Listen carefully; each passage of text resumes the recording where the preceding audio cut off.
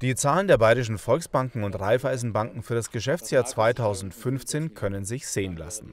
5% Wachstum bei der Kreditvergabe, fast 5% mehr Kundengelder, die die Sparer den Instituten anvertraut haben. Und das trotz Niedrigzinsen der EZB. Unterm Strich stand ein Ergebnis vor Ertragssteuern von 1,3 Milliarden Euro.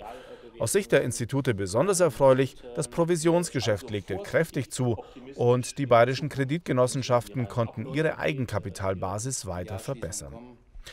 Während das Kundengeschäft weiterhin gut läuft, machen den Volksbanken und Raiffeisenbanken Regulierungsvorhaben das Leben schwer.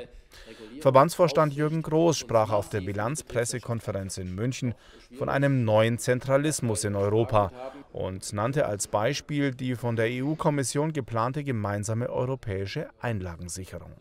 Neben der Zentralisierung spüren unsere Mitgliedsbanken einen zweiten Trend mittlerweile sehr deutlich, nämlich zunehmenden Dirigismus.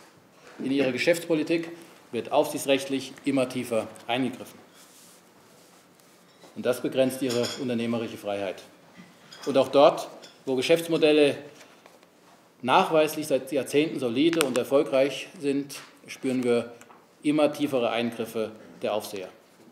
Die ständig wachsenden Meldeanforderungen sind insbesondere für Regionalbanken eine erhebliche personelle und finanzielle Belastung. Und zunehmend, das will ich auch deutlich sagen, wird die Regulierung auch zur Belastung unserer Kunden. Der Genossenschaftsverband Bayern fordert deshalb eine Qualitätskontrolle in der Finanzmarktregulierung.